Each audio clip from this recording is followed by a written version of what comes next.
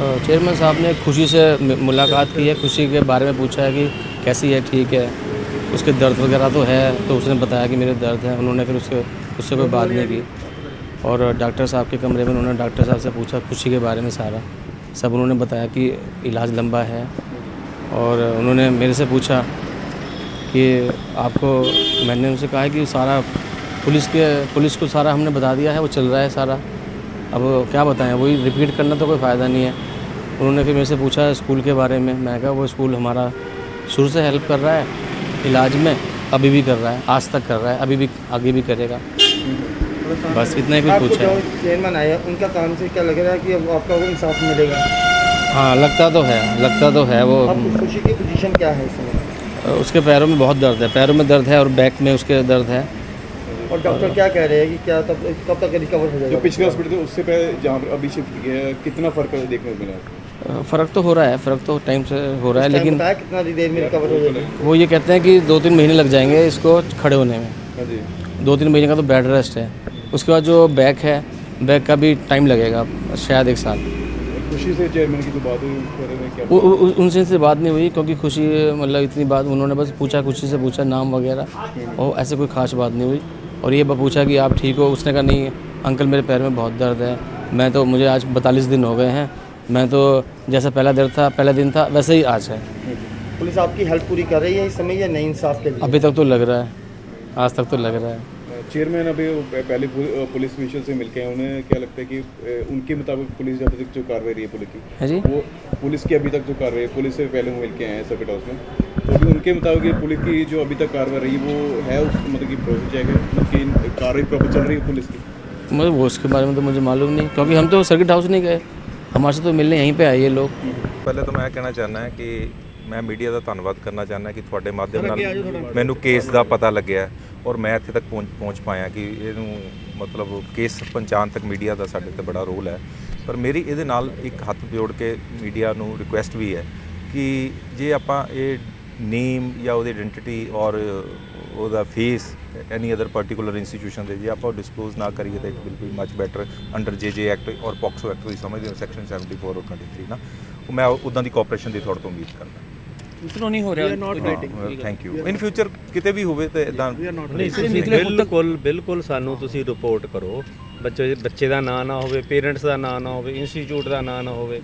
ਕਿਉਂਕਿ ਆਦਰਵਾਈਜ਼ ਤੁਹਾਡੇ ਦੁਆਰਾ ਹੀ ਸਾਡੇ ਕੋਲੇ ਮਸਲਾ ਪਹੁੰਚਦਾ ਹੈ। ਬਿਲਕੁਲ। ਪਰ ਉਹਦੀ ਆਇਡੈਂਟੀਫਿਕੇਸ਼ਨ ਡਿਸਕਲੋਜ਼ ਨਹੀਂ ਕਰਦਾ। ਦੀ ਇਨਕੁਆਇਰੀ ਦੀ ਕੀ ਫਾਈਂਡਿੰਗ ਹੈ ਤੁਹਾਡੀ? ਖੁਦ ਕਰਕੇ ਗਏ ਆ ਸਰ। ਇਨਕੁਆਇਰੀਜ਼ ਉਹਦੇ ਪੇਰੈਂਟਸ ਨੇ ਖੁਦ ਪ੍ਰੈਸ ਕਾਨਫਰੰਸ ਕਰਕੇ ਗਏ ਆ। ਗੱਲ ਉਹਨਾਂ ਨੂੰ ਵੀ ਗਾਈਡ ਕਰਕੇ ਗਏ ਉਹਨਾਂ ਨੂੰ ਹਾਂ। ਪਤਾ ਹੈ। ਉਹਨਾਂ ਨੂੰ ਉਹਨਾਂ ਨੂੰ ਤੁਹਾਨੂੰ ਤਾਂ ਵੀ- ਉਹਨਾਂ ਨੂੰ ਵੀ ਗਾਈਡ ਕਰਕੇ ਆਏ ਹਾਂ ਉਹਨੂੰ ਤਾਂ ਪਤਾ ਨਹੀਂ ਹੈ। ਹੁਣ ਤੱਕ ਮੈਂਸ਼ਨ ਦੀ ਕੀ ਨਿਕਲਿਆ ਚਲੋ।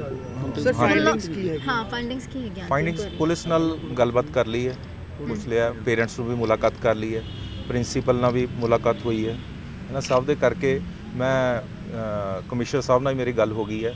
ਉਹਨਾਂ ਨੂੰ ਮੈਂ ਕਿਹਾ ਇੱਕ ਸੀਨੀਅਰ ਆਫੀਸਰਸ ਦੀ ਸਿਟ ਬਣਾਈ ਜਾਵੇ ਕਿ ਜਿਹ 'ਚ ਮਤਲਬ ਮੈਰਿਟ ਤੇ ਜੋ ਹੈ ਫੈਕਟਸ ਅੱਗੇ ਆਉਣ ਪਾਉਣ ਉਹ ਮੈਂ ਪੂਰੀ ਉਮੀਦ ਔਰ ਵਿਸ਼ਵਾਸ ਦਿਲਾਨਾ ਹੈ ਕਿ ਪੂਰੇ ਫੈਕਟਸ ਨਾਲ ਕਾਰਵਾਈ ਹੋਏਗੀ। ਸਰ ਪੁਲਿਸ ਨੇ ਹੁਣ ਤੱਕ ਦੀ ਜਾਂਚ ਰਿਪੋਰਟ ਦਿੱਤੀ ਹੋਣੀ ਕਿ ਹੁਣ ਤੱਕ ਜਾਂਚ ਕਿੱਥੇ ਤੱਕ ਪਹੁੰਚੀ ਹੈ? ਉਹਨਾਂ ਨੇ ਕੀ ਦੱਸਿਆ ਕਿ ਜਾਂਚ ਦੀ ਜਾਂਚ ਪੁਲਿਸ ਆਪਣੀ ਕਾਰਵਾਈ ਕਰ ਰਹੀ ਹੈ। ਦੇਖੋ ਕੁਝ ਫੈਕਟਸ ਹੈ ਜਿਹੜੇ ਅਸੀਂ ਵੀ ਡਿਸਕਲੋਜ਼ ਨਹੀਂ ਕਰ ਸਕਦੇ।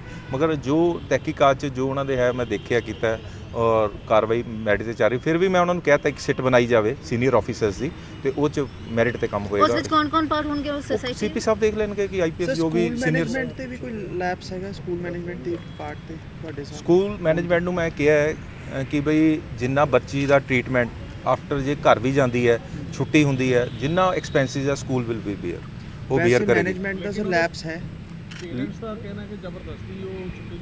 ਨਹੀਂ ਹੋਏ ਪੇਰੈਂਟਸ ਦੇ ਬਿਨਾ ਛੁੱਟੀ ਨਹੀਂ ਹੋਏਗੀ। ਜੋ ਉਹ ਕਹਿ ਰਹੇ ਸੀ, ਉਹ ਕਹਿ ਰਹੇ ਸੀ ਕਿ ਵੀ ਡਾਕਟਰ ਸੁਜੈਸਟ ਕਰ ਰਹੇ ਥੋੜਾ ਮਾਹੌਲ ਚੇਂਜ ਕਰ ਦਿਓ ਬੱਚੀ। ਇੱਕੋ ਜਗ੍ਹਾ ਤੇ ਵਿਚਾਰੀ ਬੈਠ ਬੈਠ ਕੇ ਸ਼ਾਇਦ ਫੈਡ ਅਪ ਹੋ ਜਾਂਦੀ ਹੈ, ਬੱਚੀ ਕਾਲੀ ਪੈ ਰਿਹਾ ਸੀ ਮਨ।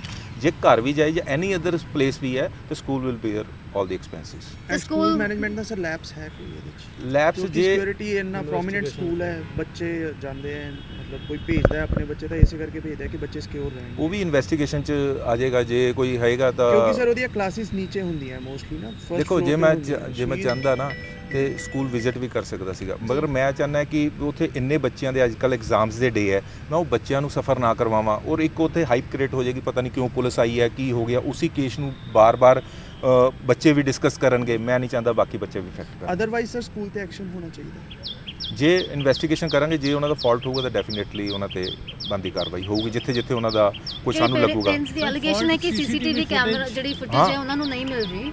ਤੇ ਦੋ ਸੀਸੀਟੀਵੀ ਕੈਮਰਾਸ ਸੀ ਓਨਲੀ ਵਨ ਦੀ ਫੁਟੇਜ ਜਿਹੜੀ ਹੈ ਰਿਵੀਲ ਹੋਈ ਹੈ। ਹਾਂਜੀ। We been asking that again and again ਤੇ ਸਾਨੂੰ ਕਿਹਾ ਜਾ ਰਿਹਾ ਕਿ ਕੋਈ footage C but parents are insistent though ਉੱਥੇ ਕੈਮਰਾ ਸੀ ਦੂਜੇ ਦੀ ਫੁਟੇਜ ਕਿੱਥੇ ਹੈ ਤੇ ਸਕੂਲ ਕਿਉਂ ਨਹੀਂ ਪ੍ਰੋਵਾਈਡ ਕਰ ਰਿਹਾ? ਦੇਖੋ ਸੀਸੀਟੀਵੀ ਫੁਟੇਜ ਮੈਂ ਵੀ ਦੇਖੀ ਹੈ ਪਰ ਮੈਂ ਉਹ ਤੁਸੀਂ ਸਮਝਦੇ ਹੋ ਆਫੀਸ਼ੀਅਲੀ ਮੈਂ ਉਹਦੇ ਬਾਰੇ ਕੁਝ ਡਿਸਕਲੋਜ਼ ਨਹੀਂ ਕਰ ਸਕਦਾ।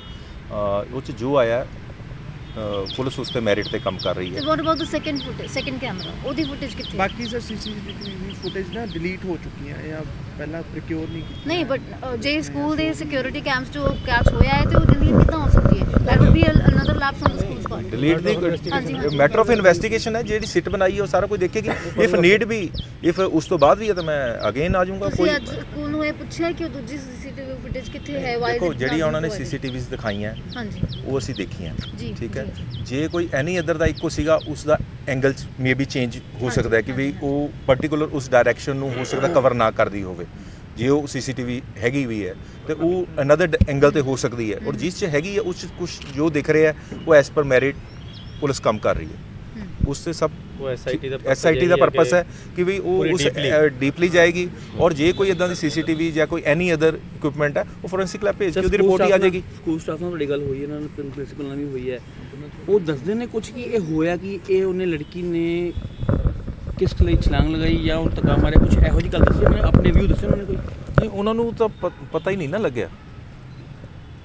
ਕਿ ਵੈਰੀ ਫਸਟ ਸਕੂਲ ਪ੍ਰਬੰਧਨ ਨੇ ਕਿਹਾ ਸੀ ਲੜਕੀ ਨੇ ਛਲਾਂਗ ਮਾਰੀ ਉਹ ਉੱਥੇ ਕਹਿੰਦੀ ਫੈਮਿਲੀ ਸਾਹਮਣੇ ਕਿਹਾ ਸੀ ਕਿ ਲੜਕੀ ਨੇ ਛਲਾਂਗ ਲਗਾਈ ਹੈ। ਇਹਨੂੰ ਧੱਕਾ ਨਹੀਂ ਛਲਾਂਗ ਤਾਂ ਇਹ ਹੈ ਨਾ ਵੀ ਛਲਾਂਗ ਤਾਂ ਪਤਾ ਹੀ ਲੱਗ ਗਿਆ। ਉਹ ਤਾਂ ਜਦ ਇੱਕੋ ਦਮ ਬੱਚਾ ਨੀਚੇ ਆਪਣੇ ਕੋ ਆ ਗਈ ਉਹ ਵੀ ਕਵਰਿੰਗ ਆ ਗਈ। ਮਦਰ ਨੇ ਰੋਪ ਲਾਇਆ ਸੀ ਸਕੂਲ ਪ੍ਰਿੰਸੀਪਲ ਉਹਨਾਂ ਨੂੰ ਕਹਿ ਰਹੀ ਕਿ ਸੁਸਾਈਡ ਹੈ ਅਟੈਂਪਟ ਟੂ ਸੁਸਾਈਡ ਹੈ। ਪਲੀਜ਼ ਤੁਸੀਂ ਇਸ ਟੀਮ ਨੂੰ ਦਬਾ ਦਿਓ। ਇਹੋ ਜਿਹੀ ਕੋਈ ਗੱਲ ਫੈਮਿਲੀ ਨੇ ਤੁਹਾਨੂੰ ਕੀਤੀ ਹੋਵੇ?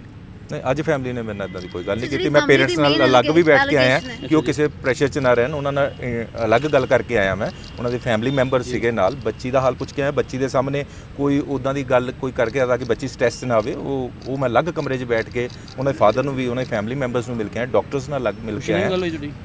ਹਾਂ ਮਤਲਬ ਉਹ ਥੋੜੀ ਪੇਨ ਖਾਤਰ ਥੋੜੀ ਪ੍ਰੋਬਲਮ ਸੀਗੀ।